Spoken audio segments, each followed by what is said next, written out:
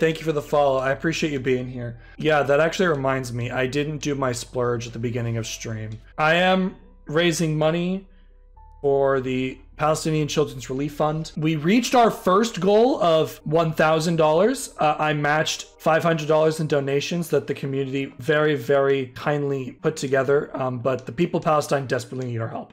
And if you can donate anything, our next goal is 15. I think we're at 1100 right now. So every dollar helps. If you have one extra dollar, um, it would mean the world to me and the world to the people of Palestine who are undergoing a modern day genocide. And there's no other way of putting it. There, it is absolutely unequivocally genocide. So the love would go a long way. I appreciate you all being here. Um, I am quite open about talking about the current situation in Palestine.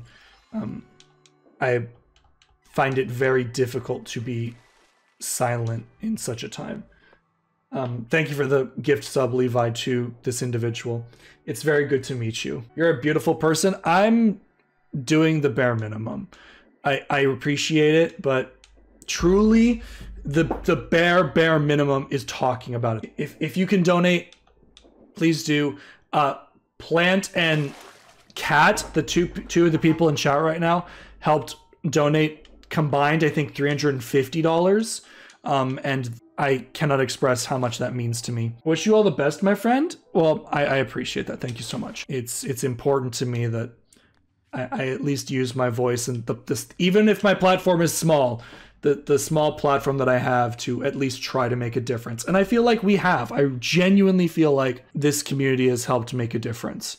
And I, I am so thankful for that. Hope to see you in Palestine to extend our love to you. Are you from Palestine?